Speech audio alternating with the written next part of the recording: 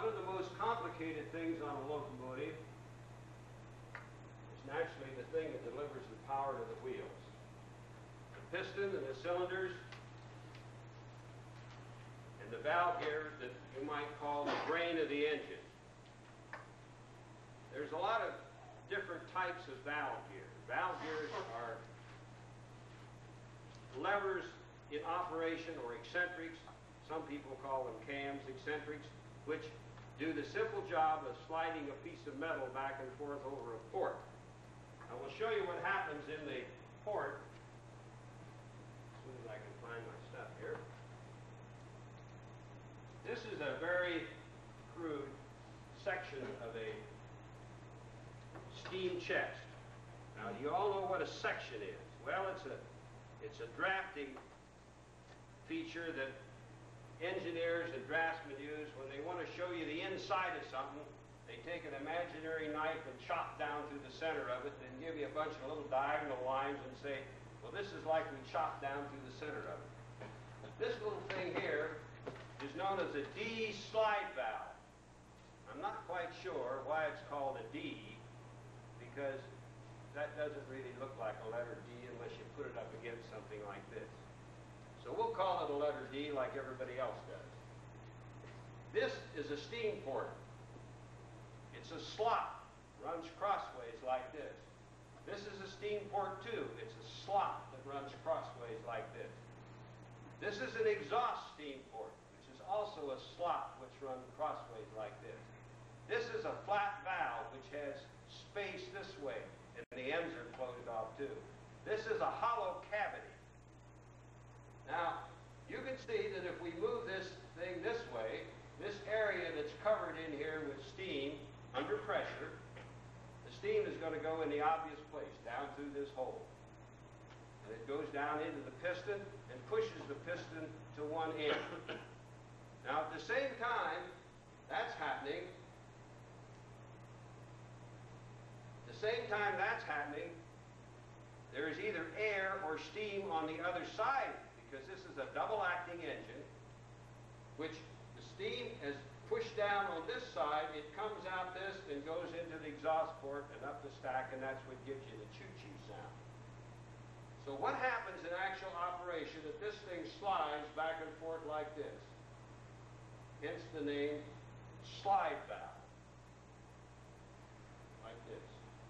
Now there is a mechanism out here which we'll get into later, which is called a valve gear, which will tell you what makes this thing slide back and forth. There's some design work that goes into this called lap and lead and angle of advance and all that, but we're going to get to that in a minute, so don't think we're going to leave it out. Is there anyone who doesn't really understand what's happening?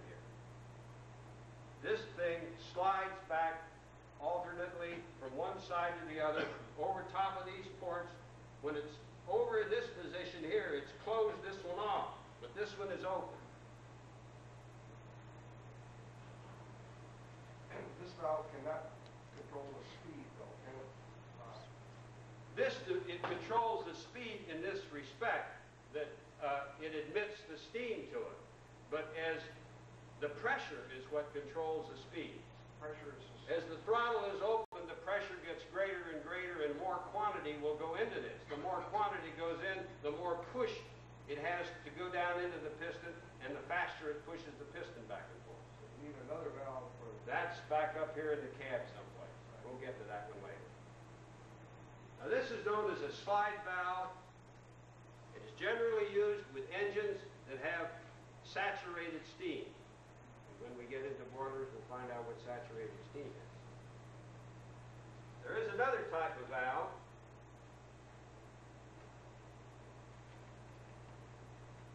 And it looks a little different. It's called a piston valve. And the reason is, is because it's shaped like a piston. It's round.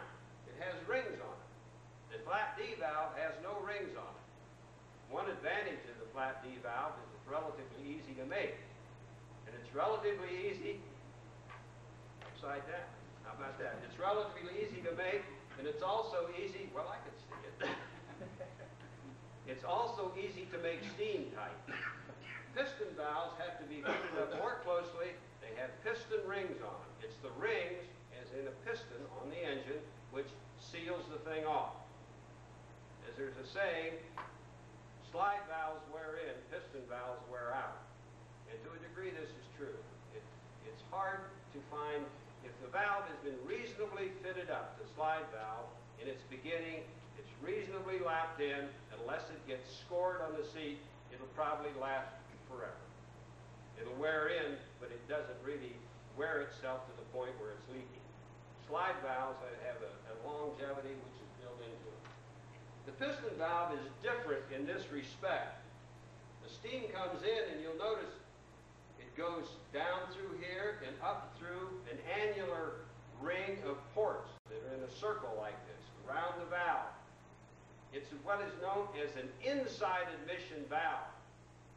The other valve that you saw was an outside admission. The pressure was around the outside of the valve. Here the pressure is on the inside of the valve. It comes down through here, goes around through these annular ports, down into the cylinder. While the exhaust comes up through the annular ports and goes out here. There is an advantage to the piston valve. The steam passages here are much shorter, and you have less chance of cooling off with a piston valve than you do with a slide valve. Because the slide valve, the porting is in the center of the cylinder, and you have to have long ports to run to either end. The piston valve does not. The ports are on the end, the ports are much, the passages are much shorter, so there's less chance of condensation. This thing actually just changes position, comes over here like this, comes up around here, out, and here. This is known as an inside admission valve. The other one is known as an outside admission valve. Now, it does make a difference when we get onto the valve gear, because whether it's an inside or an outside admission valve, it does change the way the valve gear is hooked up. Are there any questions about what a piston valve is or a slide valve? Okay. We got that out of the way. Now, valve gears. Well, there's probably as many valve gears to talk about as there were locomotive designers because it seems sooner or later almost every locomotive designer came up with some sort of valve gear to slide this thing back and forth. Some of the most com more common ones that we'll run into,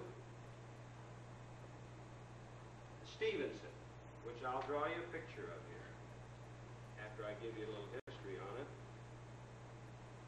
Stephenson valve gear, and this is funny how things work out, came from the company of Robert Stephenson, who was building locomotives back in 1843 in Britain. However, with a lot of things, Stephenson didn't really invent it. There was a young man, a kid if you want to call him that, working on a drafting board, and he came up with the idea, a fellow by the name of William Williams. And there was a pattern maker by the name of William, William Howe. And they got together and worked out all the details. When the valve gear came out, Stephenson got the credit. So it's known as the Stephenson valve gear.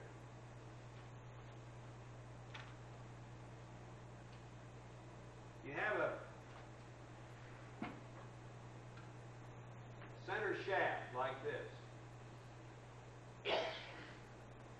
We're going to put an eccentric. That's the high pointed eccentric.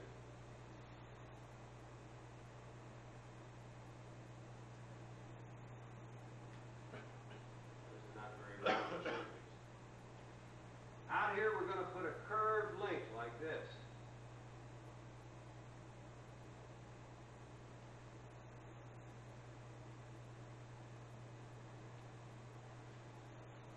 Now there's a strap that goes from here around this thing here, which goes up, hooks to this one right here. Same sort of a strap around here, goes up here and hooks to this one here. Steam chest is out here.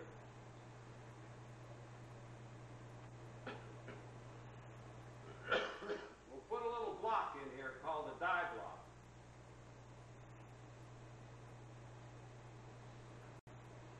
wheels start to turn, but somebody must be pushing it because nothing is happening. This little block doesn't move, it just kind of rocks back and forth like this. But now, if you drop this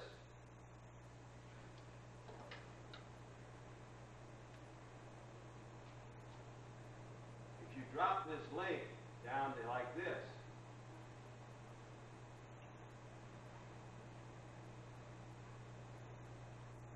now this is dropped down where this link is moving back and forth this way. You can see it's going to move that valve back and forth this way. But this is moving in the opposite direction because it's controlled by this opposite eccentric back here. So if you took this and moved this up here, it would take its motion from this bottom eccentric here instead of the top one here. This link is controlled by a pivot pin in the center.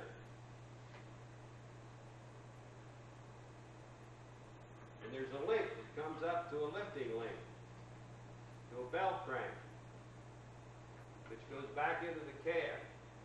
This link is lifted up and down by that. This little die block stays in the center here. Whichever, is lifted up in the air, it's taking its motion from the backward eccentric, because one eccentric is sent for the engine to run backwards. If it's dropped down here, it's taking its motion from the forward eccentric, and so the engine will run forward. We'll show you what happens when that goes. Are there any questions about how the Stephenson valve gear works? You said when the, the link is up, it takes the motion from the bottom. That's right. And the reason that is, is because, and it just, when you stop to think about it, if anything breaks on the valve gear, the engine was running forward, which it runs most of the time. If a link would break, or a pin would shear, or anything like that, that link would drop immediately. Now, if one side dropped and the other side was still up, part of the engine would run or run backwards, and part of it would run or run forward. If they both dropped, you might be going 60 miles an hour, and suddenly your engine is running 60 miles an hour in reverse. It could be disastrous.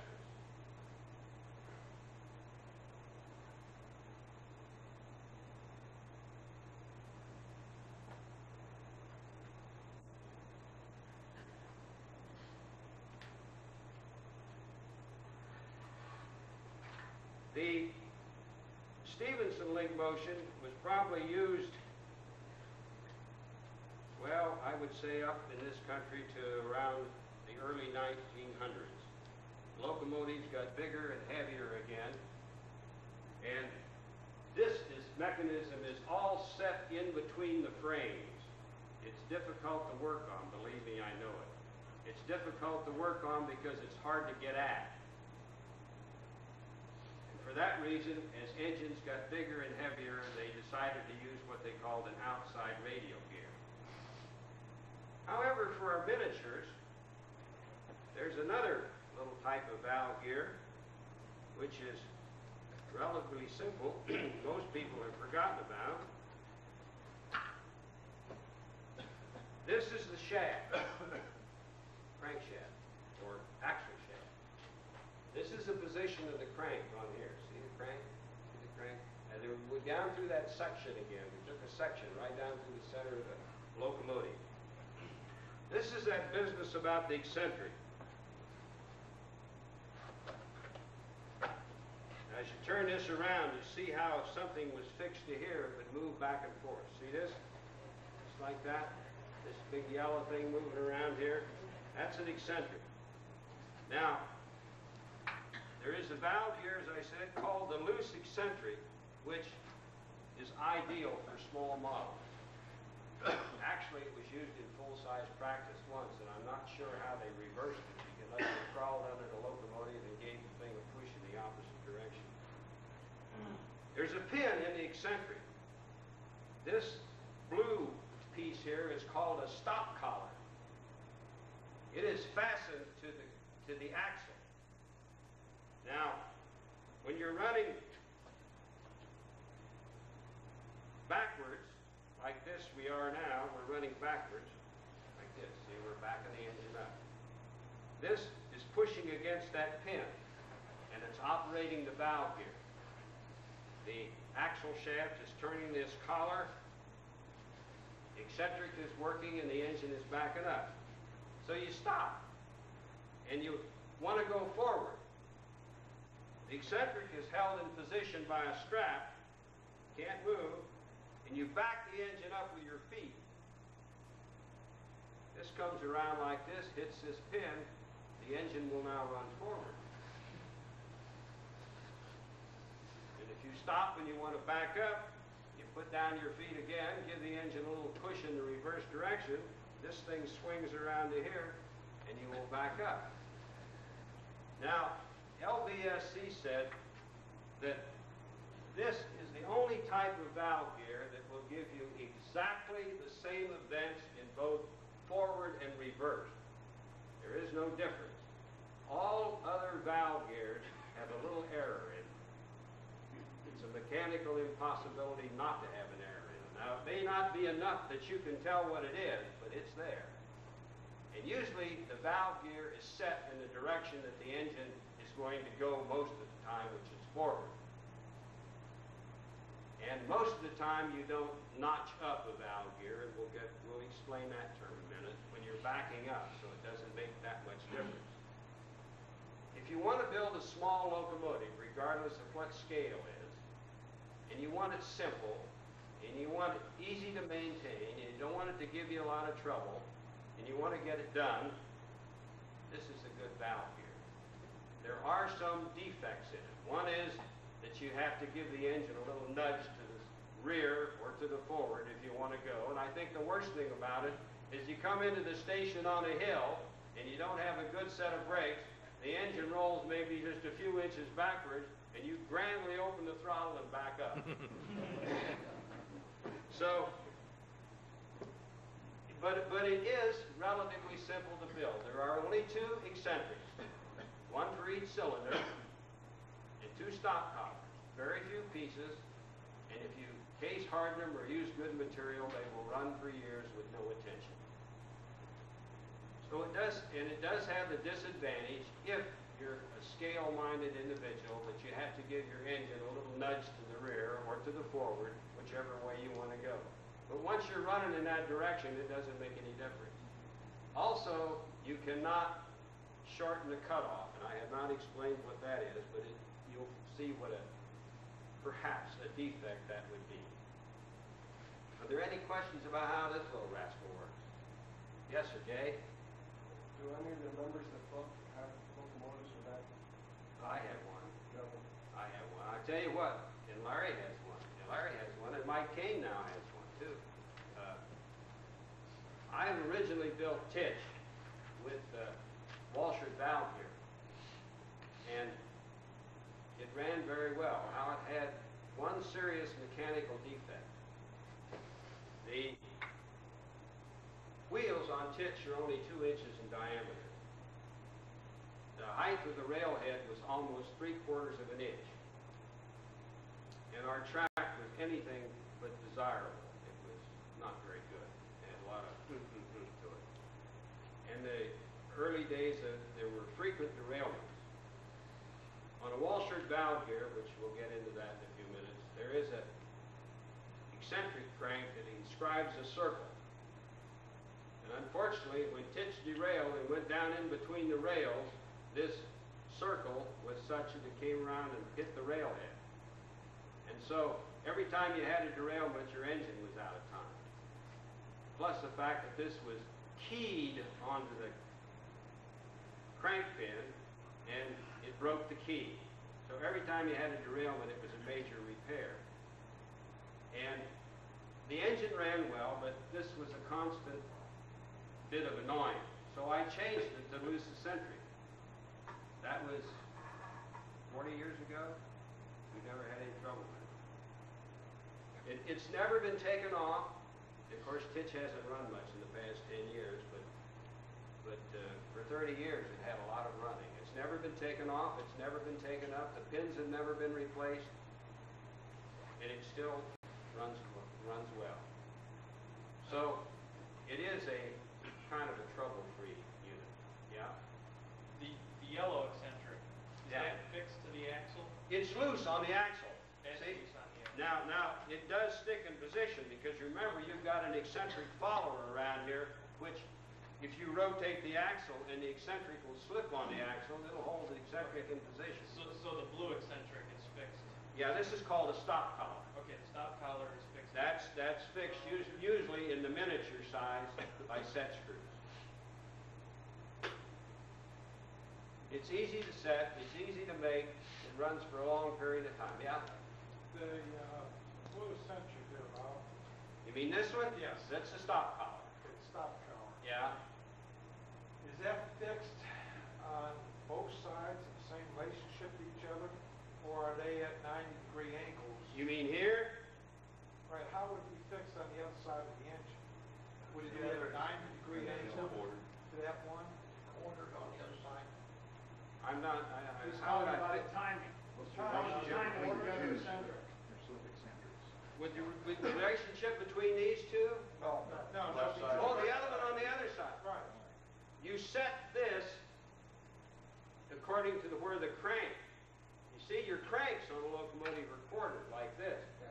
You would set this to make the valve open at the proper time, with both cranks going around here. So actually, these would be 90 degrees apart, the same as the cranks on the engine. Okay, that's what I was wondering. 90 degrees plus an angle of advance, which uh, this was determined by the designer, which is determined whether this straight line is.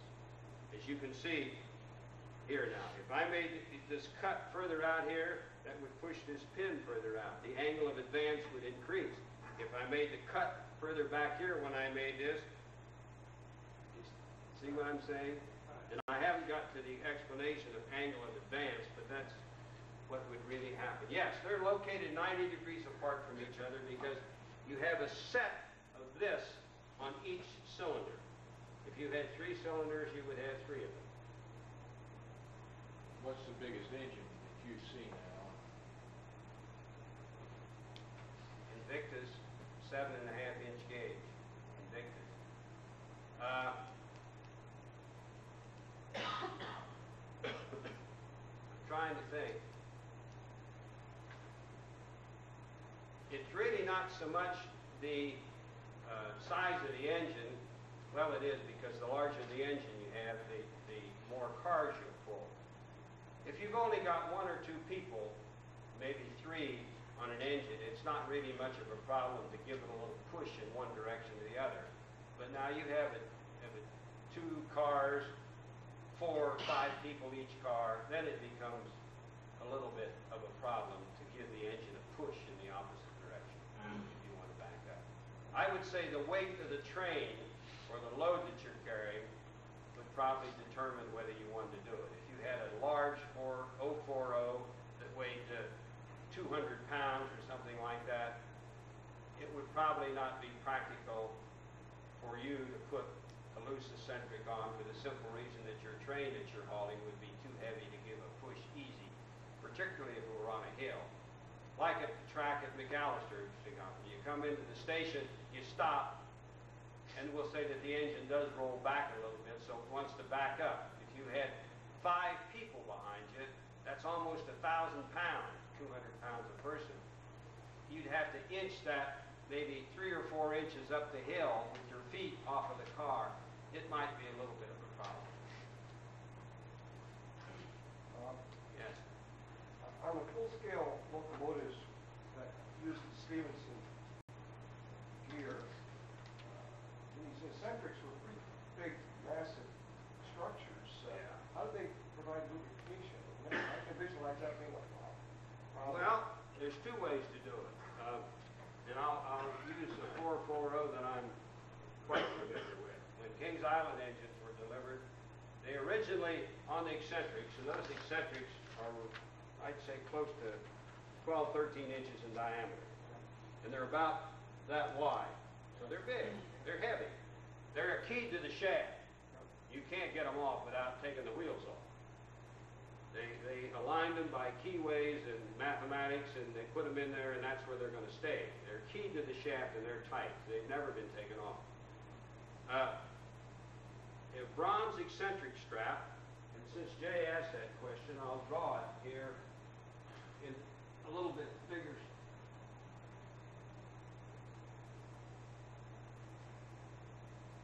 Talk about lubrication, and this is one of the problems with Stephenson gear. There's a lot of pieces to keep oiled up. Those eccentrics are about this big around. Of course, they're set here like this. There is a strap, which Joe Nelson says you shouldn't make, but everybody does.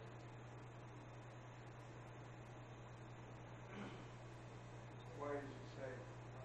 Well, I'll tell you in a second here.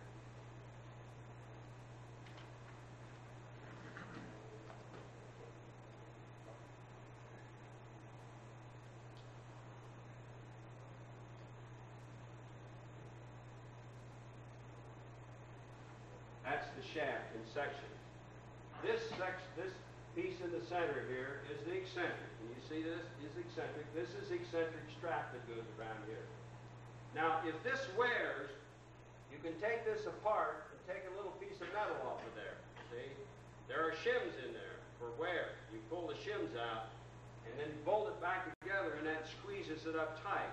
Now, admittedly, that does not make a perfect circle.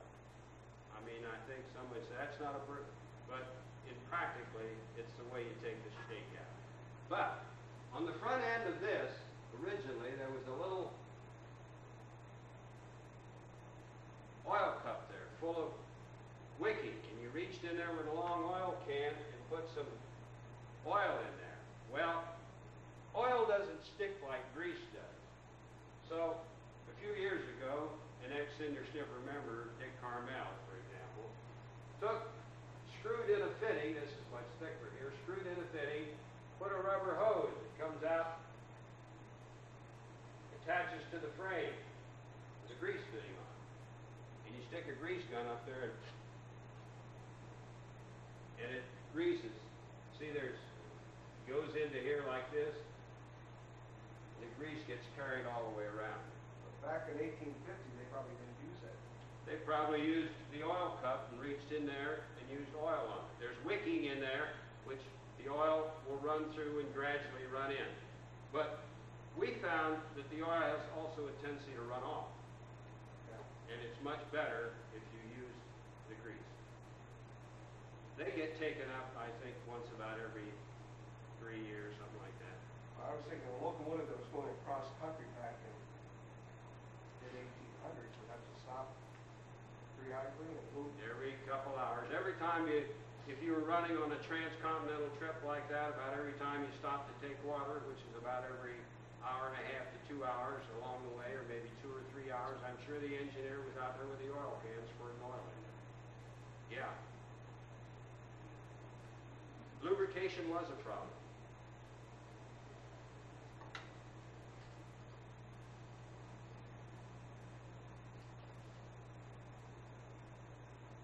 We talked about something, and I was using the term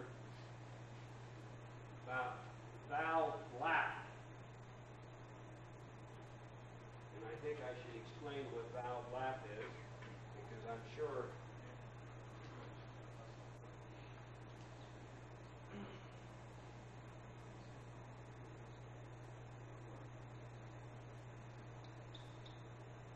Steam port. Steam is up here in this steam chest, whirling around, wants to get down in here, wants to go down into the cylinder like this. And we got it blocked off. In early steam locomotives, they didn't understand the thing that we talked about at the last get-together, which was how much energy is really stored up in the steam. Remember all those BTUs that we crammed in there? Over a thousand in there, and they were all anxious to go to work. Each one of them could lift 778 pounds, a foot high in the air. So what they did, they thought all they had to do was open and shut this valve, this little port here, and that was all they had to do. Well, So they did. They made a valve which is like this. They just spanned that port. There's another port over here. They just spanned that port.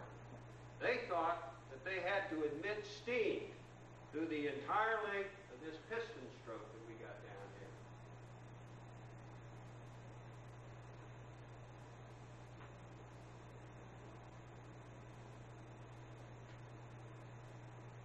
They thought you had to put steam in here and you had to admit it, for that piston to run all the way down to here. And that's the way they did it. There's only one trouble with that. It's expensive. And the engines in those days quite frequently had to stop and get up steam again because they used so much steam, because they emitted steam for the full length of the stroke. Well, it was Watt, believe it or not, who discovered that cut the steam off about here, we'll say 50 or 60 percent of the stroke, there's enough heat energy in those BTUs we talked about to keep pushing that piston down. Even though you shut the steam off from admission. Now, it doesn't push as hard as it did when it had water pressure on it, but it's pushing hard enough to make it work. So, they found out that by increasing the width of the valve here, and they called it lap, they found out that by increasing the valve width over the port, they could shut the steam off before this piston got all the way down to the other end. And in doing so, they were able to use less fuel and they to keep steam pressure up. The engine, engine ran better. It actually ran smoother that way. And if it hadn't been for that, I'm afraid the steam engine would have disappeared from the American scene long ago. because this is the thing that made it possible to be useful en- engine. Now, most, there is a, a ratio of which, I don't know whether Larry Kale still has a computer program or not, there is a ratio that if you have the port, the relation of the port plus, it'll give you the dimension there, what you should make that. For every percent of cutoff from, I don't know, from zero, from zero to 100%. And one I always remember because it's easy. If you have a port that's one inch, and you make the lap one inch, that makes a section that's two inches there, the cutoff is automatically 75%. That means that the steam is admitted to this piston pushing down in this or this direction for 75% of the stroke. Cuts off about down in here. It'll shut off. There is, most locomotives, cutoffs run between 75 and 85%. And because most miniature engines run in full gear all the time, that's full stroke. Uh, 75 to 80 percent is plenty. If you've got a boiler that keeps up with an 85 percent cutoff, you've got a, either a very good boiler or awfully small cylinders. I have a question. Yes, sir. Does the cutoff have anything to do with notching up the valve here? or is this- That's what the cutoff is, notching up the valve here. And I'll get into that in a second. You've heard us use the expression cutoff, notching up. Go back to this piston again.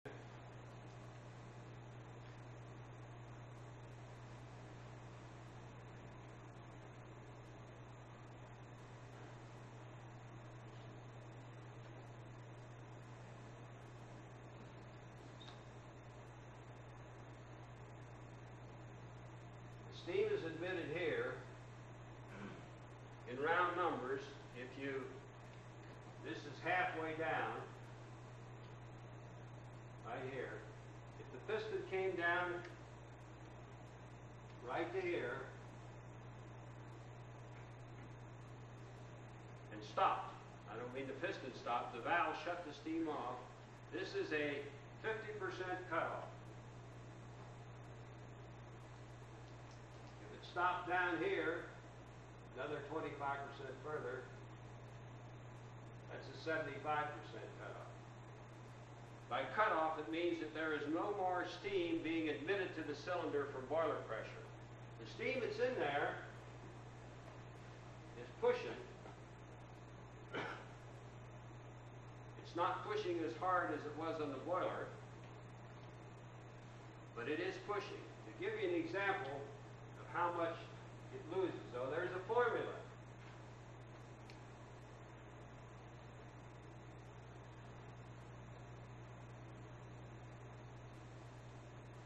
That's how you can find the indicated horsepower of a steam engine. P is the pressure. L is double the length of stroke in feet. This is for a single cylinder engine, so you have to multiply by two on locomotive. Area is the area of the piston in square inches. And N is the number of revolutions per minute. And 33,000 is this magical figure that James Watt came up with to figure out what a horsepower was, which is 33,000 pounds lifted one foot in one minute. That's a horsepower. Now P is the catch. You can't use boiler pressure because you cut it off halfway down or three quarters of the way down. So what you do, and this is a rule of thumb thing, which again works out very close to being what it actually is. For P, you use one half boiler pressure.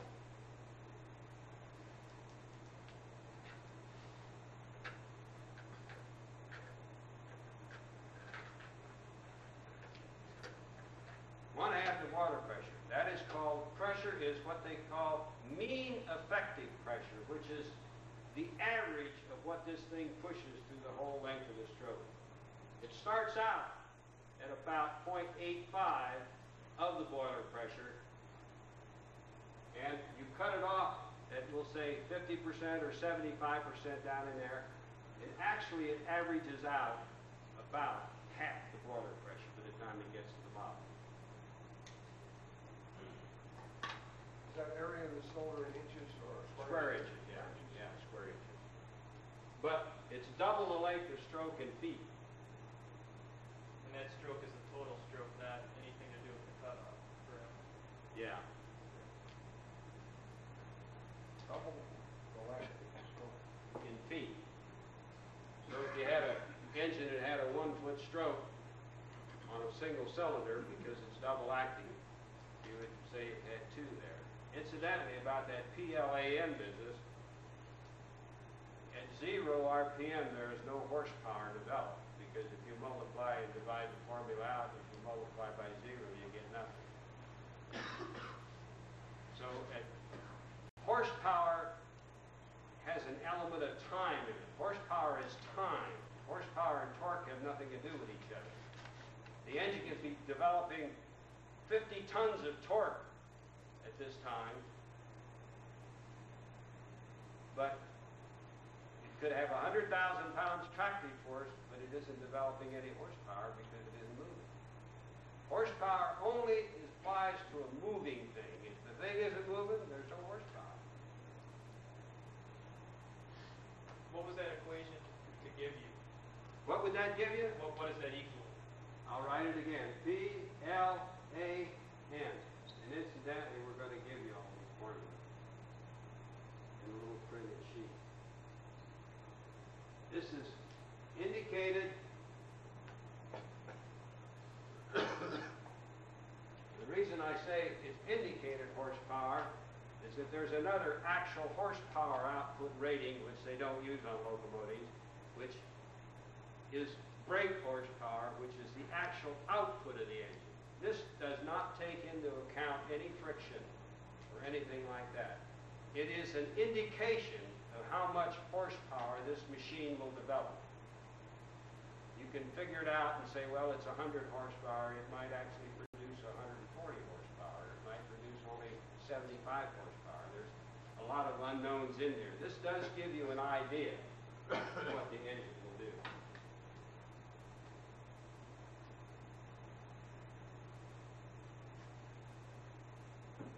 So, we don't want to sit too long.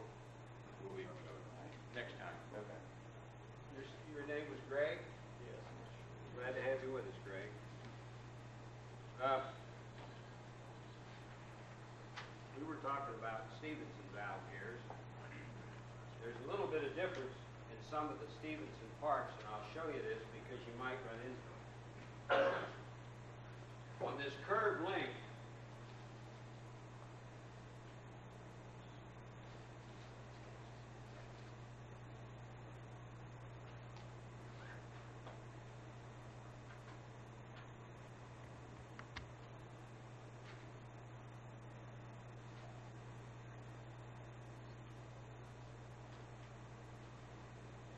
It's almost like that.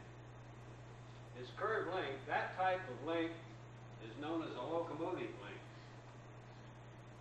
This type of link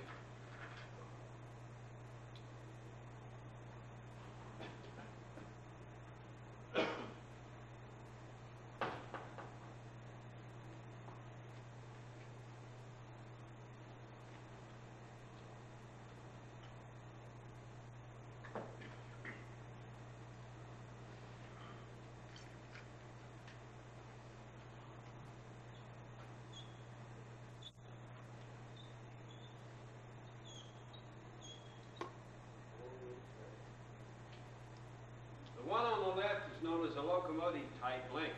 The one on the right is known as a launch type link, and I think you can readily see the difference.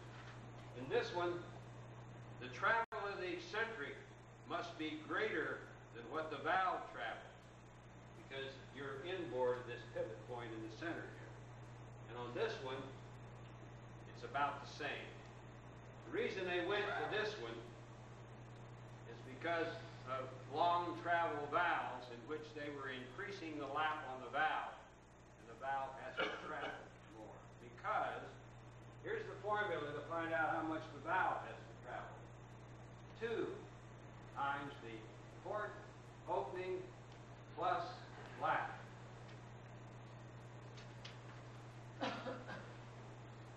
That's not code, that's port opening. Two times the port opening plus the lap will give you the valve travel. So the port will just use one because it's easy. If the port opening was at one inch and the lap was one inch, that would be two times two, the valve would travel four inches.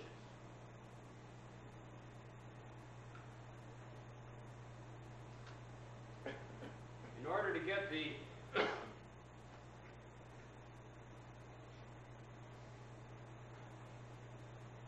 How far do I have to make it off the center to make it travel four inches?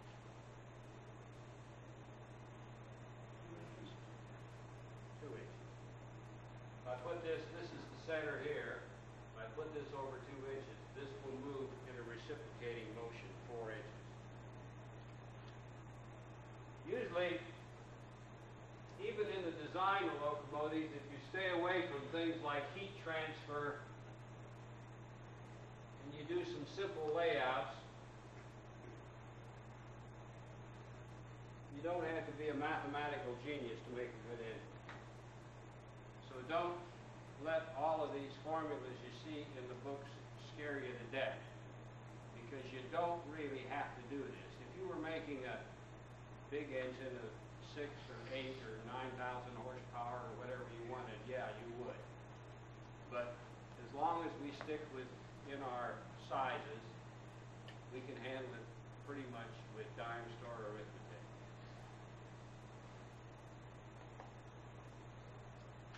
And I needed that. On a Stephenson valve here, we'll go back to that again. You have a center shaft here, and here is a crank out here. This is the thing that goes around that. Whether it's inside as a crank or outside as a crank pin. It still does the same thing. We'll do this in section again.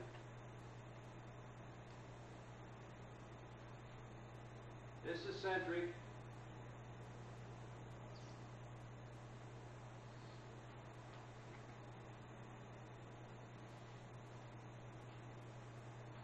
Uh, shake that, Mike, I'll put the shake. Like a cocktail.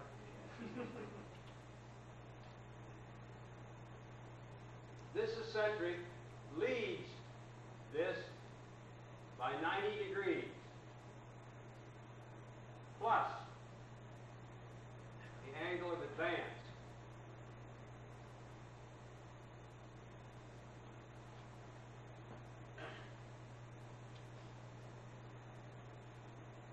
plus the angle of advance. Now, why the angle of advance? Well, remember that when I told you about the old steam ports in which the top of the valve just covered the steam port, well, if you made everything that way, it would be just exactly 90 degrees that that eccentric would lead the crank. But remember, you've got that thing called lap on a valve. Now you have to twist the eccentric ahead of that crank until you just begin to open the port when this pin is in the position it's in. This is called the angle of advance. Now that moves the lap distance in an angular fashion. But there's a thing called lead. And lead is when the piston is on dead center like this, that valve is just starting to open. Now, how much do you do this in a miniature? Well, we won't, all the books usually talk about full-size practice. It may be up to as much as eighth of an inch. But I would say on most miniature engines, anything from five to fifteen thousandths. That's between five thousandths of an inch and fifteen thousandths of an inch, which is a sixty-fourth of an inch. It's kind of one of those little weeny marks on a scale. Actually, if you look at it with a magnifying glass, it looks much bigger than it really is, so don't let that fool you either. But you can check with a feeler gauge, down between the port and the valve, and you check it. I would say from five to fifteen thousandths lead. And why does it vary? Because the steam passages are different sizes. Because the valve is a different size, and there is no hard and fast rule that you can give somebody to say, this is what it should be set. Actually, I thought I was pretty smart when I redid Susan. I thought I'll give it fifteen thousandths lead. Well, it didn't seem to run as well as it should, so I cut the lead down to five thousandths and it ran a lot better. So here again. But then I have set other engines with a fifteen thousandths lead and they ran very well. It's something you gotta kinda play with it a little while. Is there anybody who doesn't understand when I'm talking about lead? Could you diagram This, the lead, the lead, okay, we'll look, we'll look at the steam chest from the top. or maybe use your model, Use what? your, Oh, that, well, we can use that, make it a little clearer. We'll use this little booger over here. He said, what's lead? See this? Like this? The valve is in mid-position. See that? All right. When you move the crank around to top dead center or forward dead center or back dead center, the valve will be in this position here. Now, this, this is on back dead center. The crank is on back dead center that's towards the tail end of the engine. See that? That port is closed. So we're going to give it some lead. So we move the eccentric like this. Now with the piston on back dead center, that port is just starting to open. That's lead. And I would say on a miniature engine between five and fifteen thousandths of an inch. It's one of those things you can play with. You do have to take off the top of the steam chest covers because you can't look through them. That is unless you're smart enough, as some people are, to drill little holes in the side of the steam chest and tap little holes in there so you can look in there without taking it apart. Would the lead be then used to keep in, get stuff on top dead center? No, actually, in this case, lead is a hindrance because when you're opening on top dead center, it's not doing anything. Remember, it takes time for steam to go down through here. And that's why if you had excessive lead and it was exactly on center, if you opened it up, nothing would happen because it's on dead center, it won't move. However, the other side is going to move it. So, lead gives you that little bit of time for the steam to come through and go down through here. Now, steam travels pretty fast. You'd be amazed how fast it travels down the pipe. So, you don't want too much. If you get too much, you'll find that it's pushing, it's giving it like that. When it comes over the top dead center, this would be open too much and there would be too much steam admitted in there. Uh, to draw a line that you're most familiar with, it's like advancing the spark an internal combustion engine. Did that answer your question, Jay? That answers it pretty well. And again, the lap is the width of that, This is the lap right here. right, the excess. That's right. It's the extra amount of port covering is what it amounts to. Whether it be piston valve or whether it be slide valve, it's the extra amount of port covering. This is known as the lap. You're gonna adjust your, you're gonna take material off or add it to the slide valve, on, on the lead, you're not gonna fool around with your ports or the spacing. No, you don't change. The ports, the ports are milled into the cylinder. Right. The only reason for changing them, I think, is that unfortunately you have made a horrible error in something and you have to correct that. But normally, if you put the ports even close to where they should be, and you make the valve to fit the ports, we might give you a little tip on that too, is to use an expression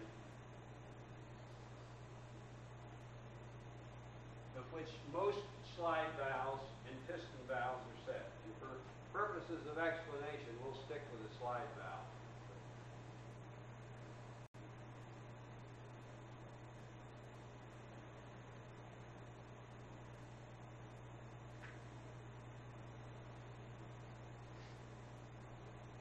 These are the in the top here. This has got section lines in it, this has got section lines. This goes down to the piston, and this comes away from the piston. This is the exhaust here. The valve, when it's set, this is known as line on line. Now draw valve with lap.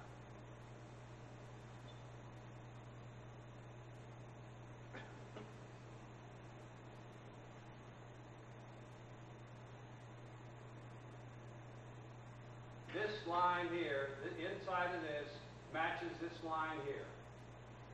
So what you're gonna do is measure your cylinder and That's make right. the valve, That's right, you can make, in, in case you have made a mistake, we'll say you you, know, we never make mistakes. an error, whatever you want to call it. You can match the valve to whatever you have, and unless it's really out, you can make it work pretty well.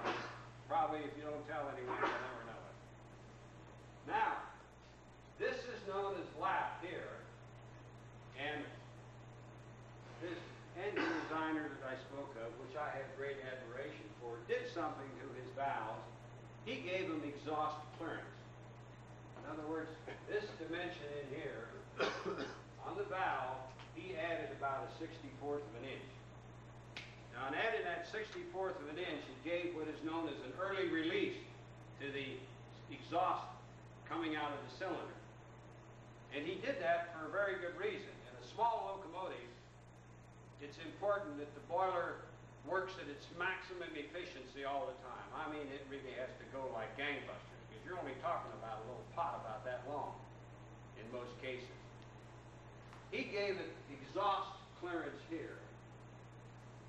And what happened is that engines developed what they called, and it was very noticeable, that if you've ever run behind an engine that was designed by LBSC, you can hear it right away. It was called the LBSC chomp, because that's the way exhaust came out. Bam, with a crack like that. And it went up the stack like gangbusters. And this created a very heavy draft. And the boiler, by creating a very heavy draft, he was able to generate more steam than he lost by opening up the exhaust port too soon. So you're saying the exhaust little- in the increase in That's the right, it increases the draft. Now, normally, most designers say line on line, but if you really want to boost the output of the boiler and force it a little bit, you give it just a little bit of exhaust clearance, this, the stack will change its tone, and you can tell by that that you're getting a sharper blast out of there. The draft will increase, and in all probability, if the boiler is reasonably designed in every other way, the amount that you lose by giving it exhaust clearance, you will gain more by the output in steam.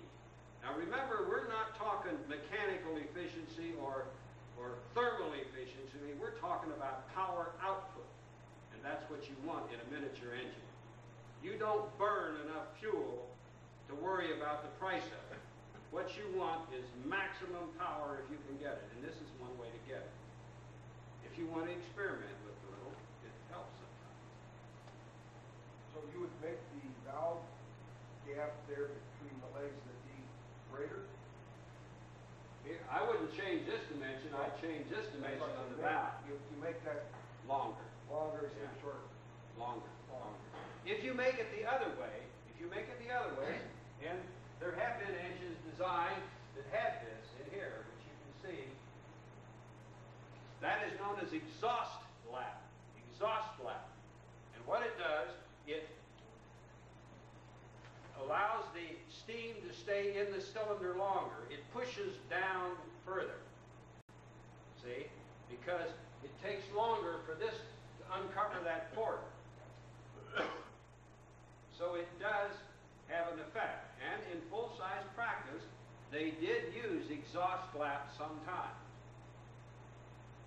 But, and, and this, we are getting kind of technical here. This is what happens. This is the piston rod. Goes around like this. Right? Okay. You're hanging that exhaust in there. This is at 90 degrees. You're hanging the exhaust in there. Here's the horizontal here. We'll say that we'll say that with with the LBSC chomp, that's with exhaust clearance on there, you're releasing the gases about here. All right. Here's where you're releasing them here. Look at the angularity of that rod. See it, how it's coming up? Okay, so you give it exhaust that. Man, we're going to get every little BTU that we can get out of that rascal. So you can't get it much past here. You can see there's very little push being exerted. As you get up beyond this, this rod has very little effect what it's doing. So if you release it here, you're losing a little mechanical efficiency, but you're not gaining much between here and here. Down here, it's almost nil. Did that answer your question? Any more questions on that?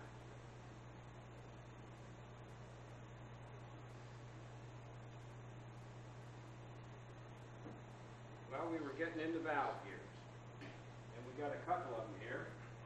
We'll start out with the simple ones first, because those are the easiest to understand. There was a guy by the name of John Wesley Hackworth back in 1859. The reason I'm showing you this is because he came up with a principle. I'll have to turn this so you can see it. This is what is known as a Hackworth valve here. It's what is known as a radial gear, even though it has an eccentric. There's two definitions of a radial gear, which usually applies to outside valve gear. One is says they have no eccentrics, which Walschaerts and Baker and Southern, they do not have eccentrics. They're all radial gear. This one has an eccentric because a lot of times they put it in between the frames on an engine. But there's also another definition of a radial valve gear. It's which some part of the valve gear inscribes an ellipse. Now, you know what an ellipse is? It's an oval. This is an ellipse. And that's the way some of the valve gears inscribe ellipses. They're not perfect, but they do do that kind of circular motion there. This valve gear was never used on an American locomotive. British design, and it just never found any favor in this country. But it's a very simple one to make, and it doesn't work too badly. As you will see here, when we start going around in a circle, see how that slider goes up and down? See how this slider goes up and down there? But you'll notice when the slider is going up and down, it's also moving this thing. Just a little bit, back and forth. When it's going up and down like that, and the valve is in mid-gear, the valve gear is set in mid-gear, but this is that movement of lap and lead. It's moving the lap and lead all the time. Lap, remember, is that excess that's over the top of the port, and the lead is how much you open the valve of the cylinder, or rather the piston is on forward or backward dead center. See, now this is the center of this section, if you'll draw it out on a piece of paper, is that section that's inscribing an ellipse like this. That's that green circle up here. And that is where it gets its name, although it does use an eccentric. Now, if it's placed on the outside of the locomotive, where you can see it, it uses what is known as an eccentric crank, which I'll show you how that works in a minute. Now, if you want to make this thing go forward, watch this over here. We got lap and lead here, but we want to go forward. Now watch how the travel of that thing increases. See now? Now it's opening the port all the way. See that? Just by moving that to this direction here, it makes the valve travel farther because this thing is now traveling up at an angle. Now if you want to reverse it, see how that moves that? And the engine would back up. See that? See that how that moves when you swivel this back and forth? It makes this valve move back and forth. It's now admitting steam to the opposite side of the piston. And that's how it reverses. The biggest disadvantage of Hackworth gear, and you can get around that in a miniature very easy. Biggest disadvantage is you can see if the wheels are moving up and down like this, which if they are on springs, they're moving up and down, it would change the valve event because that would make this thing go higher or lower, which would make this maybe go way out here or come way back here if the wheel was bouncing up and down. But back to three-point suspension again. In a miniature, you can fix the rear axle solid long as you're working with a small engine. You can fix it solid, you can cross equalize in front, and you can use the Hackworth valve here and you don't have to worry about the wheels going up and down. Now there's another way to get around it too in case you would want to use it. You can take it and turn it like this.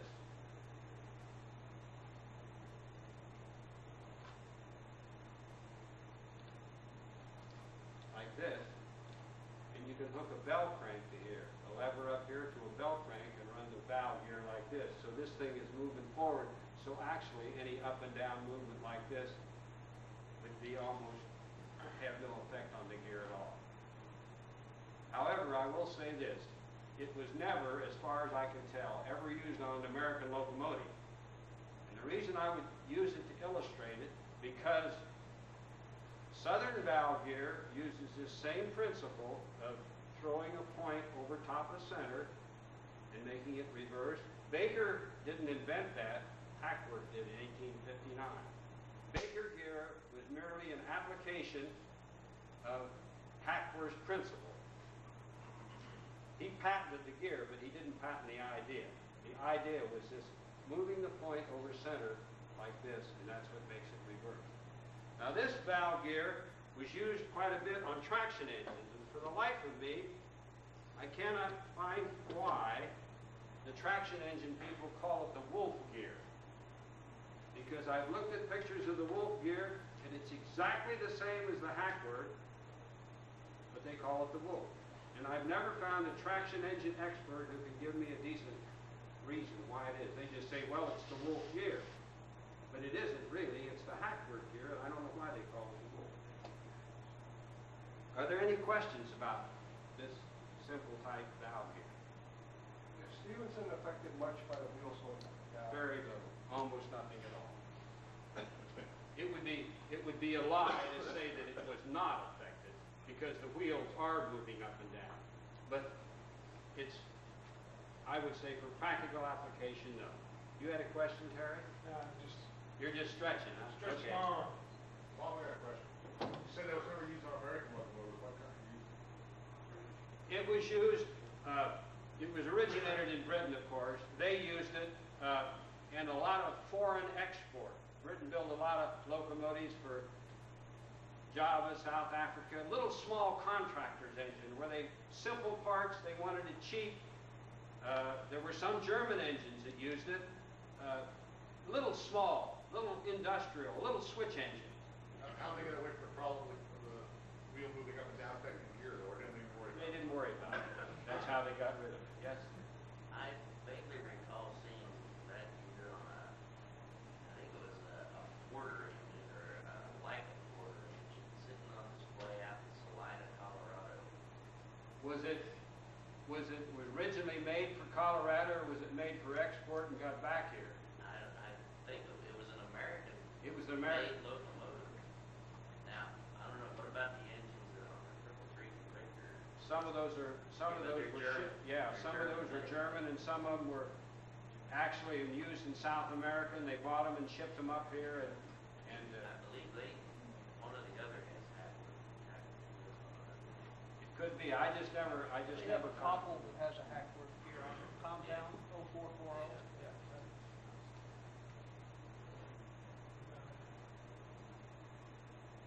Bob mentioned a word which, uh, we were gonna talk about. Compounding. While we're talking about steam engine and cylinders, we may as well talk about this to confuse you still further. Remember, at the last meeting, we said that almost fifty percent of the heat that you put into the firebox went up the stack and going, choo! This is a fact of life and there's nothing you can do about it. Well, there is something you can do about it. You can take a piston of such size.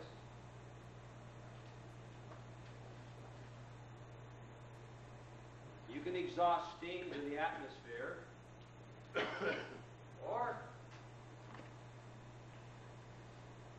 this is giant oversized.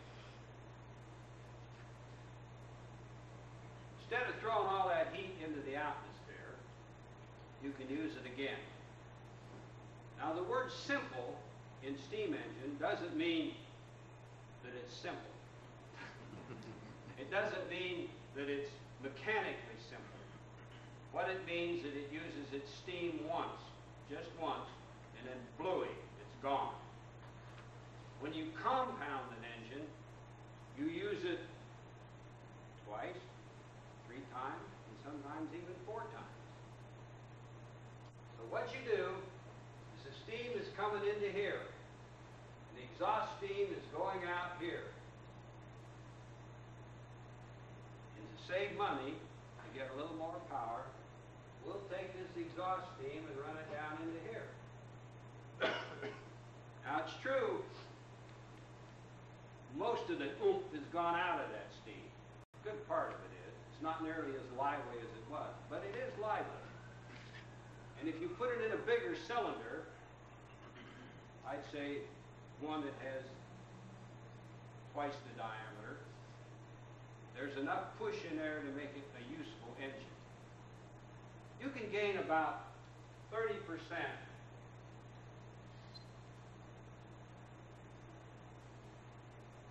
the 35% increase in power by compounding, which is saving steam. You take it out of the high pressure cylinder, this is known as the HP, this is the LP. You put it in there, and then in railway locomotives, because no one, I don't think, I'm pretty sure of this, has ever really devised a good air condenser. I mean a really good air condenser. That compares to the one Dick Taylor uses because he pulls out a few million gallons of water a day out of the Ohio River. Water is a good coolant, but air is, mm, as far as steam is concerned.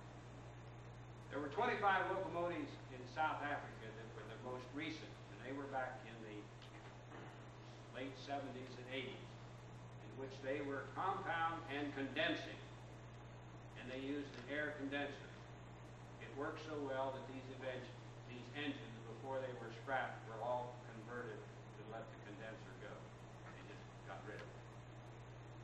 Condensing is where you take the steam out of this side, run it back through a series of pipes or a container, and it goes from a gas back into the water. Like that. Back into the water, and then it's pumped back into the water again. Uses the same water over and over and over and over. Except that there's always leaks and little drips here and there, and so you have what you call makeup, and you have to keep on adding to it. You can gain about 30 to 35 percent power. It's kind of funny how people are set in their thinking too. For example, in this country, we made compounds. And generally speaking, the compounds were made in what they called the drag era, epitome of a locomotive was how much it could start, if it didn't get above 25 or 30 miles an hour, that was okay. It could pull all of outdoors. So we started out with little cylinders like this and making big compound cylinders, and then we wanted bigger locomotives, so we made a little bit bigger high pressure cylinders and bigger cylinders here, and then we wanted bigger locomotives, so we made a bigger high pressure cylinder, and these things got to be enormous. Some of them got to be four feet in diameter. Well, this is okay and it works better on paper than it actually works. And the problem with it is, is weight. In the cylinder, you can see right now counterbalancing, and yet counterbalancing is the back, the art of taking one weight and counteracting the forces of another weight, particularly in a rotating fashion. The weights in these huge cylinders, the pistons, the crossheads, the connecting rods, were so enormous that the counterweights on the engine had to be so huge to keep this thing from bang, bang, bang, bang. And besides, they could only run about 30 miles an hour because they were so big and heavy. They developed lots of power. Boy, they could shove all outdoors and go right through a brick wall easy. But they were heavy. And so, when freight train speeds got, and you notice I didn't say passenger, when freight train speeds begin to pick up, and fuel in this country was a little bit cheaper than it was anyplace else in the world, and we had lots of it, and we didn't mind wasting it, we went to higher pressures, smaller cylinders, and put more of them on there and got rid of these big babies out here. Which was okay. Like the Big Boy was one of the most powerful locomotives ever built, and it had four high-pressure cylinders on it. And they say Big Boy was counterbalanced for about 75 miles an hour, which for a machine that's pretty good. But I really think the epitome of efficient steam engine design rested in mon ami en français. A man by the name of Andre Chapelon, which you may have heard of, took an engine, which was a simple expansion engine, 2,500 horsepower, and these things were kind of badly worn, and he rebuilt this engine using his own ideas. And he made what they called four-cylinder balanced compound, which there were two high-pressure cylinders, and there were two low-pressure cylinders. You notice they're not too big either. By doing this, he increased the horsepower a thousand horsepower. And and he didn't use much more coal. And his balanced compounds would run on passenger trains at 90 miles an hour. And it's a shame that with all our resources, that we didn't pursue this form of engineering. However, it came probably too late in the game. The diesel was already on the horizon, and it was too easy to call General Motors and order a free diesel. But in this country, how, what I meant to say is, get to thinking like this. We look down a tunnel, and sometimes you find that the other people throughout the world, maybe, you know, they, they did have some good ideas. I really think that the best high-speed compound, without a doubt, for the French locomotive, I don't think anything could equal them as far as speed and economy. Was that on a rigid frame? Yeah, 482, Wheel Ranger. He took an engine that was kind of ho-hum and rebuilt it. So those four cylinders are all in the same Yeah. assembly, right?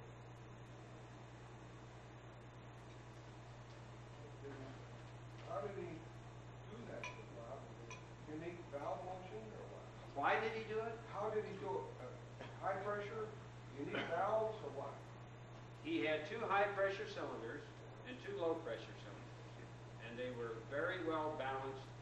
What he did is demonstrate that, see, we always thought that compounding big engines, big slow sloggers, which was okay. But he operated on the other principle, that compounding could be made to run fast, and it did run fast. They used them on their passenger express trains, and they, they were very good. They were very good engines.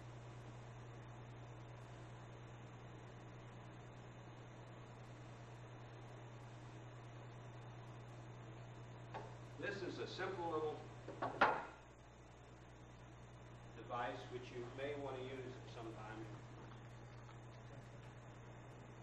See how this is inscribing, see that ellipse that this is inscribing here?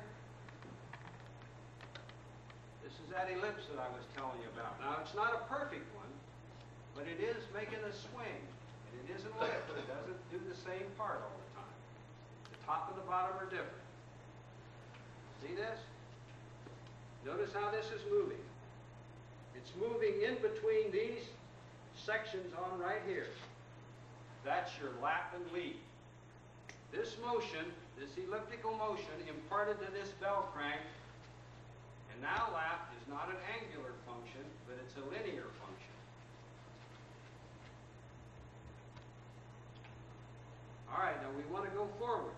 So we take this, move this point. See how we're moving this point here? Now watch how it increases the travel. See that? How it increases the travel? See how far that bell crank is moving? Now I'll move it back to mid-gear. See how the travel shortens? See how it's not traveling as much as it was? Now we want to reverse it. Okay, so we'll put it in the back like this. See that bell crank move there? And you move it back and forth. This is the point that's moving. It moves over this center point here. See that? That's the same principle on which that Hackworth gear works. It's also the same principle that the southern valve gear works. They do it with a curved link on top, but if you look at it, it's the moving of the point over center, and the end of this rod up here the southern gear does exactly the same elliptical motion that this does. About the only difference between the two is that you have a curved link here on top of the southern gear, which again is harder to make. I saw this on one locomotive at the track. And that was when this young man by the name of Yoder came down with that little engine he has. Little engine that ran so well. It does have the Smith valve gear on it. And it works very well, incidentally. If you wanted an easy valve gear to make, it's got one, two, three, four pieces in a frame, five pieces, and all the wear points are pins and bearings. There are no curved links.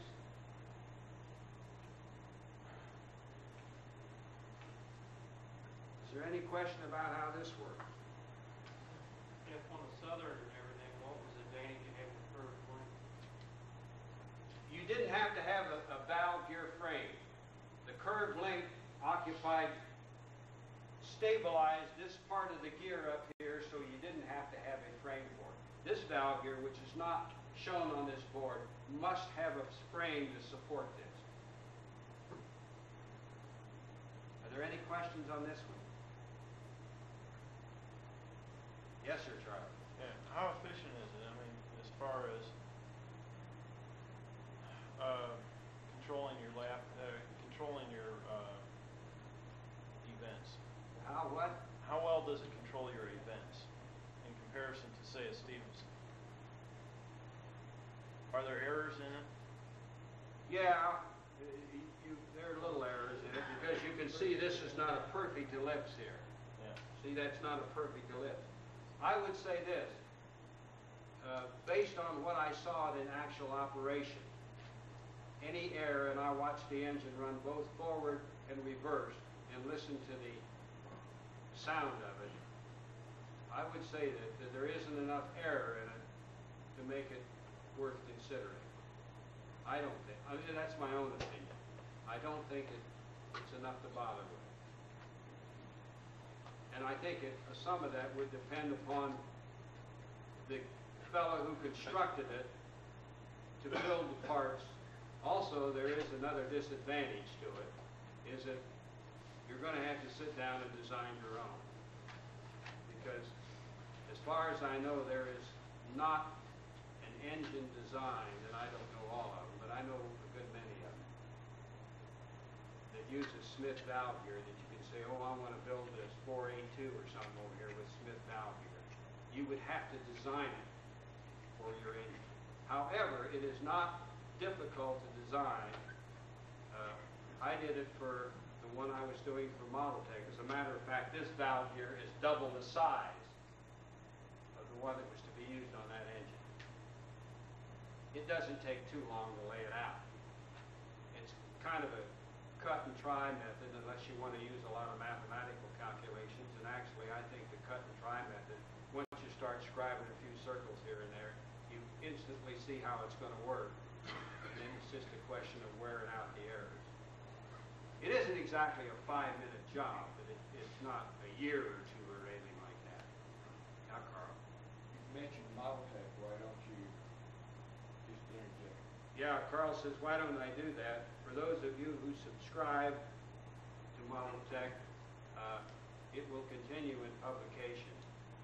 Uh, The former editor of Live Steam magazine, George Broad, uh, bought Model Tech, and uh, he is now going to continue to publish it in St. Clair, Minnesota. As a matter of fact, the schedule was right. He picked up everything today and took it to St. Clair. So Modeltec will continue. Doris will produce one more issue, which is a February, and part of the March, George will actually issue the March issue. He will take charge of publication. He is now the owner, editor, publisher, whatever else he has to do. George was editor of Live Steam magazine when the Cliché ran in it, 77 to about, he, he was, he went in as editor about 76, 1976, uh, Live Steam magazine, and he was editor until about uh, 79, I think. So he was editor for three years. Uh, George did all the drawings, and he's a very good draftsman. He's a very good writer. Uh, he has a good eye for publication. Uh, I'm sure he will do a good job. Any We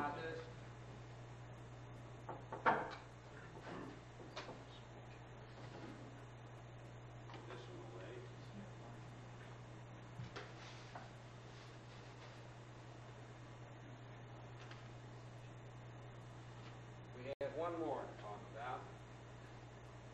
This is probably the most famous, which is the Walschaerts. Walschaerts was designed, and Godfrey's got another name for this. What do they call it in Germany? Poisoning on, Heusinger.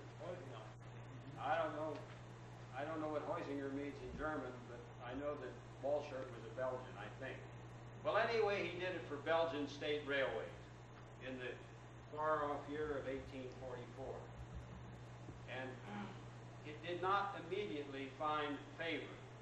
Not immediately. As a matter of fact, not used on a locomotive in this country until 1876, when Mason made one for the Denver and Rio Grande, or Denver, South Park, and Pacific, uh, called the Mason Bogie engine, which they kind of did it unusual way because the Mason Bogie engine, the trucks swiveled on the buggy, and the cylinders moved like an articulated mallet, and they used a Walschaerts gear, and they had the valve gear over the top of the boiler hanging down, which raised and lowered the length on it. It was kind of a weird arrangement, but, but it did work. And that engine was used for a number of years, uh, with varying degrees of success, I might add. But this valve gear was, has probably found itself on more locomotives than any other single type of gear. Uh, if you can say it has disadvantages, it has a lot of parts. It has a curved link, which again is more trouble to make than not having a curved link. But it does perform well, and I've heard professional engineers say, well, an engine that has a Walschaerts gear has a lot more snap than an engine that does not have a Walschaerts gear. Uh, in my limited experience, I never could tell the difference. So I guess maybe it, maybe it has, and maybe there's some emotion to it. Uh, I'll turn this over slowly. It's set in mid-gear now. This red section down here is the main rod. This is the crosshead, which slides between the bars. This is the piston rod here, the valve rod, and of course the valve slider, which is up here. This curved section is the link, and that's what actually reverses it, is the link. This yellow one here is the radius rod. The gray one here is the bell crank, which you operate from the cab, forward or reverse, raise and lower it. The one in this ivory colored one here is known as the combination lever. The little gold one down here is the union link. Now we'll watch it work. As you can see, there's a lot of pieces moving around.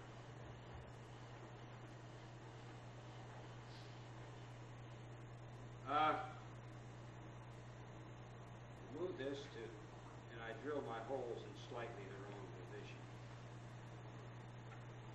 You will notice that when it's in mid-gear, there's almost no movement into this radius rod here. See that radius rod? There is movement into the valve rod. That's because the crosshead moves back and forth. And see this combination lever here? This is a fixed pivot point now, and that moves that valve rod back and forth. That is where the lap and lead in the Walschaerts gear comes from. The lap and lead motion is taken off of the crosshead right here through this union link